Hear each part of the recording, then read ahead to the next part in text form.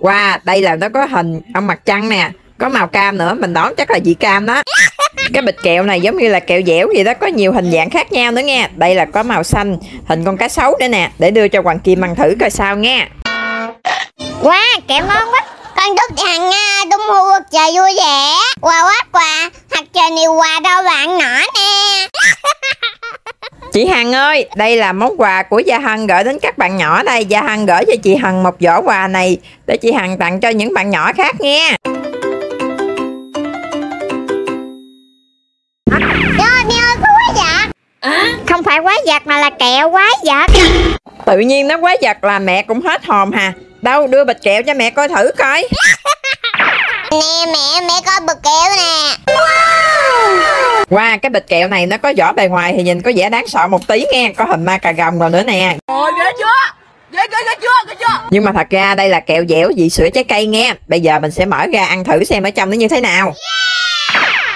Cái bịch kẹo này rất là thơm vị trái cây nha các bạn. Vừa mở ra là có hương trái cây nó sọc lên rồi. Wow, đây là nó có hình ông mặt trăng nè. Có màu cam nữa, mình đoán chắc là vị cam đó.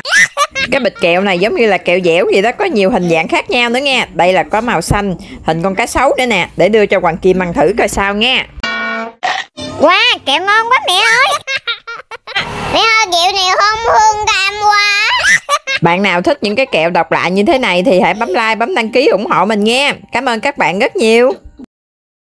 Các bạn ơi, hôm nay Gia Hân ra ngoài công viên chơi trung thu. Vô tình gặp chị Hằng nè các bạn. Bây giờ mình lại chào chị Hằng nha. Con đầu đi Hằng, đi Hằng này con cái lồng đèn nha. Cảm ơn chị Hằng Nga nhưng mà đút bụi rồi ạ Cho con chút củi nha. Có chị Hằng không à? Con chúc chị Hằng Nga tung hưu cuộc trời vui vẻ Quà quá quà Thật trời nhiều quà đâu bạn nhỏ nè Chị Hằng ơi, đây là món quà của Gia Hân gửi đến các bạn nhỏ đây. Gia Hân gửi cho chị Hằng một giỏ quà này để chị Hằng tặng cho những bạn nhỏ khác nha. Các bạn hãy bấm like, bấm đăng ký ủng hộ cho Gia Hân nha để Gia Hân có động lực và làm được nhiều việc tốt hơn nữa nha các bạn. Tạm biệt các bạn, chúc các bạn có một buổi trung thu thật là vui vẻ và ý nghĩa nha.